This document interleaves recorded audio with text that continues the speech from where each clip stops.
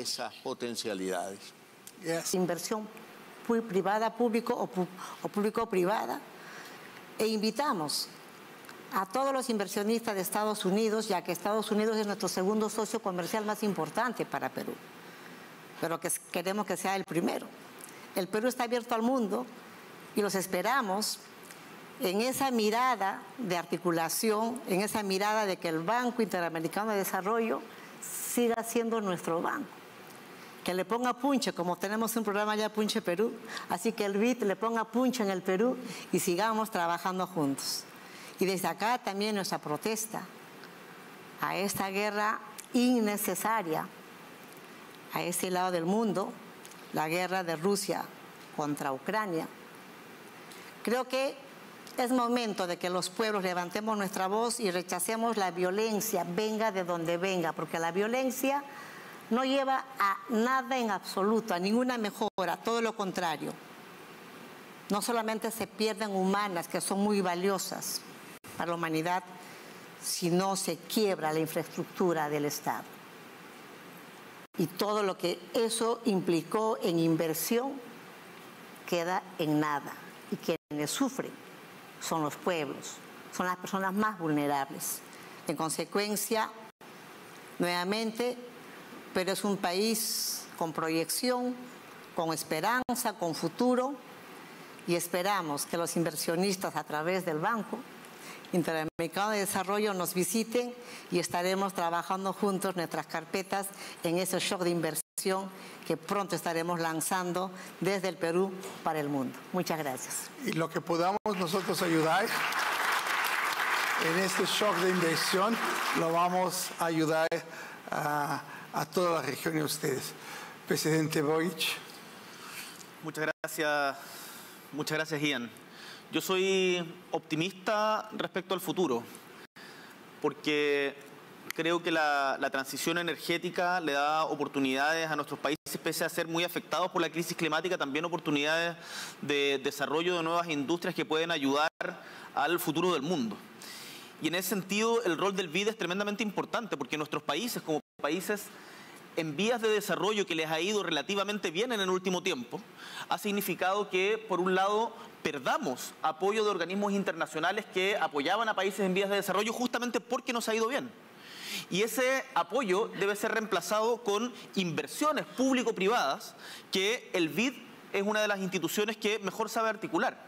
Por lo tanto, yo lo veo desde nuestro país, las posibilidades que tenemos en torno al desarrollo de la industria del litio, en donde tenemos el 48% de las reservas de cobre de, reservas del litio en el mundo, o del cobre, en donde tenemos cerca del 30% de las reservas del mundo, que son dos minerales críticos justamente para la para poder enfrentar la crisis climática, por ejemplo, a través de la electromovilidad o la fabricación de baterías, es tremendamente importante, pero ahí necesitamos partners, necesitamos más socios. Yo creo que el BID puede jugar un rol importante en hacer ese, ese en, dar esas colaborar a, a, los llamados a la inversión. Yo también hago un llamado a confiar en nuestros países. Nuestros países, mi país Chile es un país estable, es un país que respeta las reglas, en donde hemos enfrentado procesos de cambio, pero siempre respetando los acuerdos a los que nos hemos voluntariamente sometido. Y por lo tanto pueden tener la certeza de que invertir en Chile desde esa perspectiva otorga justamente certidumbre. Creo que tenemos muchas posibilidades y esas posibilidades solo las vamos a poder si solo las vamos a poder desarrollar si es que trabajamos juntos y ahí el rol de articulador que juega el BID es importante si esas oportunidades no se aprovechan, las, aprovechan otros. Nosotros somos países, me imagino los tres, pero hablo en particular por el mío, países que eh, en, escenarios de, de, polarización optamos por un comercio abierto. Tenemos la red de tratados de libre comercio más amplios del mundo. Hace dos semanas tuve la oportunidad de estar reunido con el presidente Xi Jinping, hoy día de China, hoy día voy a tener la oportunidad de conversar con el presidente Biden y eh, nos preocupa que cuando no hay inversión de, por ejemplo, empresas eh, estadounidenses, la inversión se concentra solamente en un sector. Entonces yo el llamado que hago es a, motivarse, a afrontar los desafíos que tenemos con optimismo y a invertir en nuestros países porque lo necesitamos también para justamente tener un desarrollo más inclusivo y para la estabilidad y garantía de la democracia, que con economías frágiles, como hemos visto a lo largo de la historia y en particular en este último tiempo, siempre contribuye a que las democracias se tambaleen y eso es muy malo para todos. Muchas gracias. Y es justo lo que el BID quiere hacer. El BID es un banco de conocimiento, un banco que trae tanto el sector, el lado público y el lado privado. El lado privado es, un brazo de BID Invest. Y lo que estamos haciendo aquí es traer compañías, compañías de Estados Unidos, de la región, para invertir. Tenemos el BID Americas, el, BID para, para las Américas, que es justo traer compañías para invertir en, en sus países quiero terminar con el senador Dodd. Yo les quiero decir que esta cumbre de APEP y esta foro no serían realizado si no estuviera acá el senador Dodd con sus esfuerzos.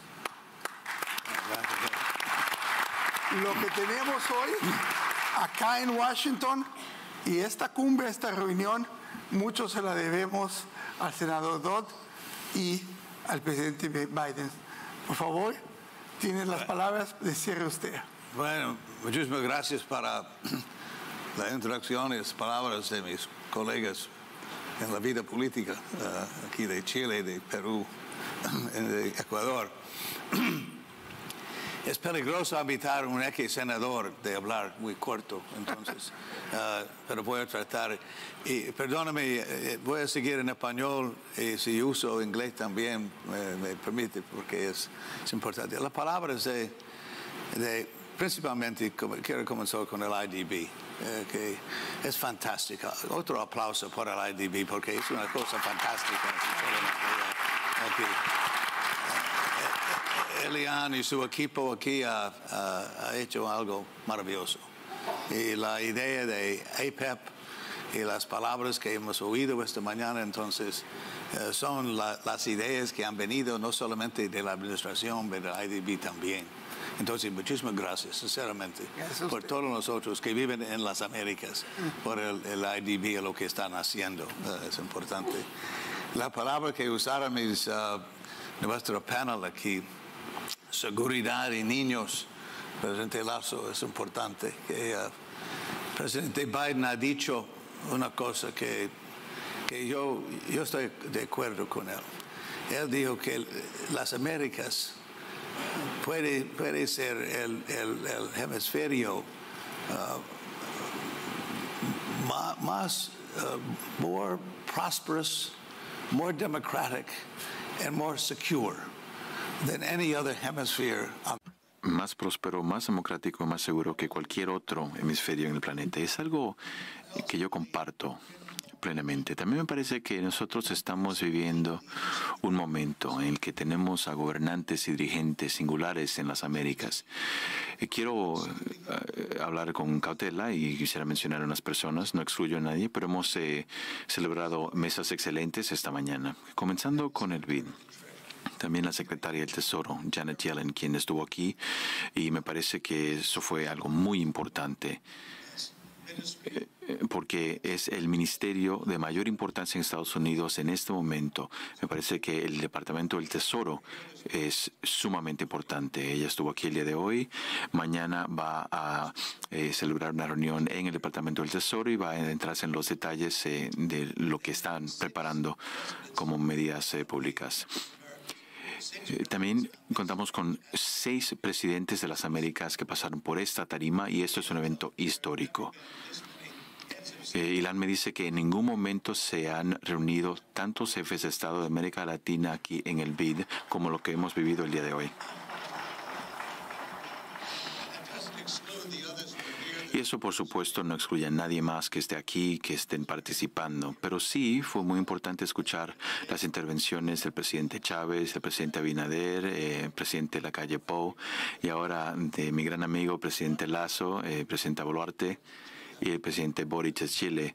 Yo estuve con el presidente Boric en Chile eh, eh, con motivo de un día muy especial, el 15 de septiembre, 12 horas de servicio eh, memorial para marcar ese momento tan importante. Sus palabras, presidente, así como las palabras de los demás que intervinieron, fueron de mucha relevancia. Sobre todo la dimensión de optimismo que escuchamos y eh, el hecho de que hayamos pensado en lo que estamos viviendo a pesar de las dificultades que se ven en el mundo. El hecho de que nosotros nos podamos reunir aquí el día de hoy la verdad es que no me habría sorprendido escuchar a una administración que eh, dijera, bueno, en este momento hay tantas cosas que pasan en el mundo que no tenemos tiempo para esta cumbre, pero no fue el caso. Aquí estamos el día de hoy, mañana nos vamos a reunir con eh, actores eh, principales en el mundo para poder seguir impulsando la prosperidad económica en el mundo y agradezco este esfuerzo. También lo que ha declarado es que nosotros podemos lograr mucho más cuando actuamos al unísono y no cuando actuamos solos. No me parece que ningún problema lo pueda resolver un solo país. Hay muchos problemas. Y esta es la necesidad de que haya una integración regional. Nosotros no podemos atender las problemáticas del crecimiento económico, la creación de empleos, cambio climático, la salud. Todo eso pasa por una colaboración. Estamos hablando de temas eh, que hemos escuchado esta mañana, que representan eh, todo el espectro eh, de, temas y de situaciones y de contextos. tenemos las buenas políticas de buena vecindad y distintas políticas importantes, pero estamos ante una plataforma nueva, novedosa, y singular. Es la única plataforma que yo conozca en nuestro continente que ha sido ideada específicamente para tener temas del futuro. Muchos que ya se han mencionado aquí eh, esta mañana, eh, por ejemplo, las infraestructuras digitales, eh, nosotros en las Américas eh, tenemos una tasa eh, excesivamente urbana en nuestros espacios, eh, pero tenemos que también recordar que personas viviendo en sectores rurales que necesitan acceso a Internet, necesitan acceso a estos servicios fuera de los centros urbanos en nuestros países. Nosotros en los próximos, eh, en las próximas horas vamos a estar hablando de estas ideas y cómo podemos consolidar estas plataformas. Esos mensajes también serán muy relevantes. Yo soy optimista, pasé 36 años eh, ocupando el cargo de senador en Estados Unidos. Y eso es algo que he dicho una y otra vez eh, en los 36 años que estuve en el Senado y es que hay ventanas que se abren y ventanas que se cierran. A mí me parece que estamos ante un momento de ventanas abiertas. Y no son momentos muy duraderos, se cierran muy rápidamente por toda una serie de razones.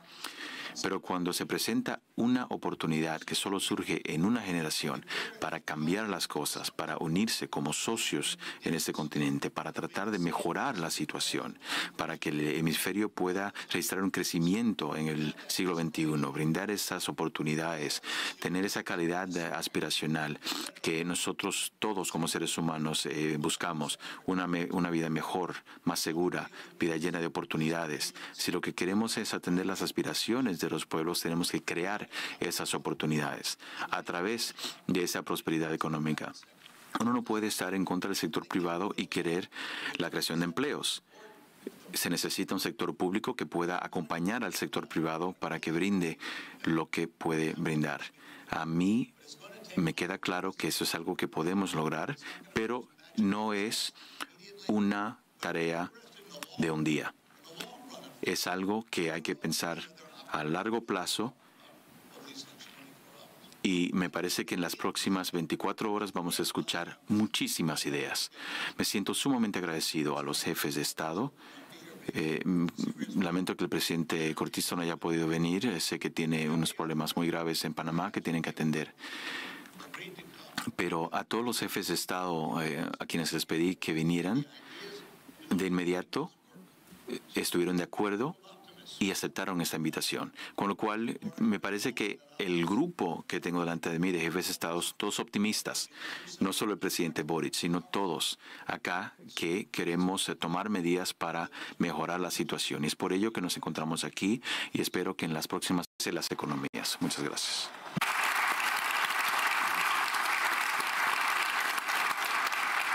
So let me close this, Muy bien. Para concluir, me gustaría simplemente decir que queda claro que Estados Unidos necesita de la región y que la región necesita de Estados Unidos. Agradezco a los expositores, les agradezco a todos. Muchas gracias. Great job, very good. Great job. Ah, picture, yeah.